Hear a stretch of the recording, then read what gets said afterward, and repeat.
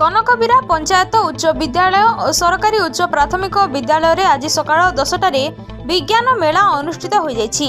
ଏଥିରେ ଭଟଲି ଏବିଇଓ ଜାରା ବାରିକ ଯୋଗଦାନ କରିଥିଲେ। ଏଥିରେ ସ୍ଥାନ ପାଇଥିବା ପ୍ରକଳ୍ପଗୁଡ଼ିକୁ ଉଚ୍ଚ ପ୍ରଶଂସା କରିଥିଲେ।